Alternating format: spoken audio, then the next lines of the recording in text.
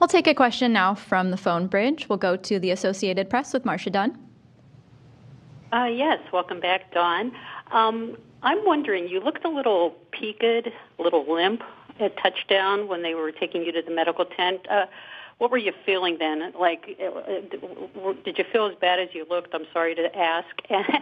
and you said you have a few creaks and groans in your body back on Earth, but what about weightlessness alleviated any creaks and groans or, you know, what was special about space that made you even feel physically more fit than perhaps you do on Earth. Thanks. And Marcia, you've always asked good questions. I, I think you were there when I came back for my first flight.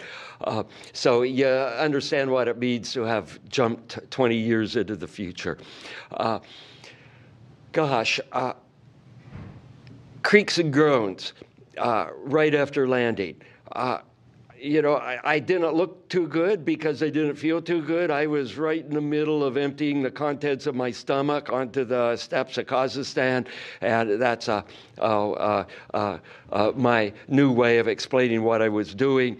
And fortunately, uh, just the way the cameras are set up there, they're polite and they don't have a camera shoved in your face when you're in the middle of doing that.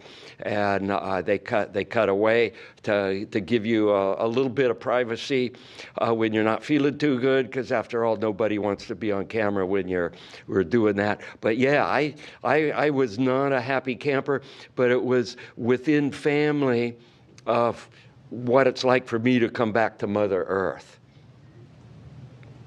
And then I think the part two of her question: Did you find that space flight alleviated any? Oh yeah, space flight. I love being in space, uh, Marcia. It it makes me feel like I'm 30 years old again. And, and you know, you sleep in your bed, you wake up in the morning, your shoulder, ah, it's like that. You know, this neck is stiffened, and all that kind of stuff heals up because you're sleeping, you're just floating. And, and your body, all these little aches and pains and everything heal up, and you feel like you're 30 years old again, and, and uh, free of pain, free of everything, and uh, ready to do your mission work. So I, I love being on orbit. It's, it's a great place to be for me and my physiology.